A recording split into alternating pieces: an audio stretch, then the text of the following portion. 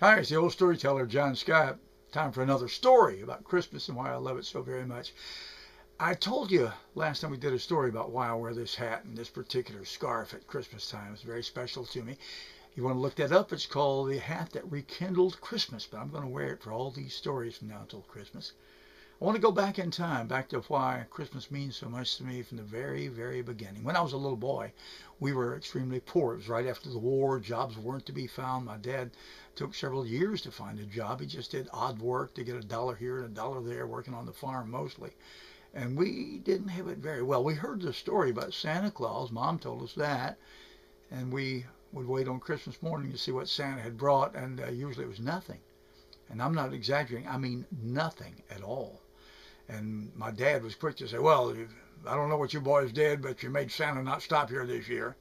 And all year we were so, so sorry and tried to figure out what we could have done and do it better so that next year we might get something in our stocking. We heard about this marvelous man with a flying reindeer, and it, it didn't happen.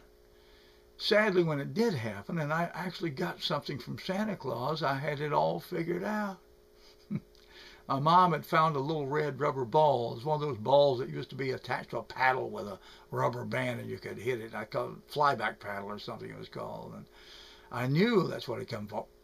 I'd seen one of those. My cousin had one of those and it was a little ball like that one that I found in my stocking. And I realized that mom had put it there.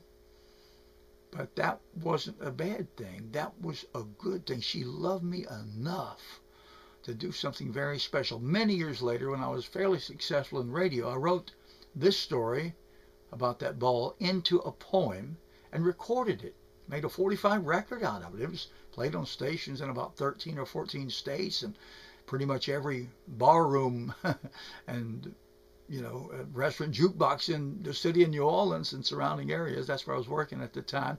I gave my mom a box of 100 of those 45 RPM records, and when she passed away, I found the entire box open, but she didn't give it to her friends. I thought she might.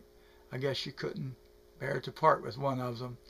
But that song is going to be next. I'm going to do a recording, an updated version of the Christmas Ball, and now you'll know how it all started.